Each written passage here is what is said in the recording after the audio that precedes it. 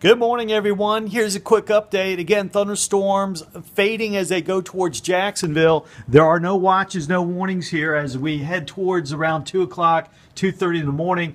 Downtown showing some light rain going on right now. As you can see in the bigger picture, we are getting the showers and thunder showers, but no longer we seeing that solid line. Instead, it's just kind of breaking up, and we have some individual little areas getting some pretty good downpours down there in Palatka, some coming across the area. Now, these are moving very rapidly and will be off the coast within the next uh, two hours. So that'll be sometime before 4:30, 5 o'clock. After that, after that, man, things turn around for the better very quickly. So again, the rain's big at times, at least the next couple of hours, then turning into a sunnier day after we get through about 10, 11 o'clock this morning. So hang in there, folks. Just a wet start to a very early Tuesday morning right now.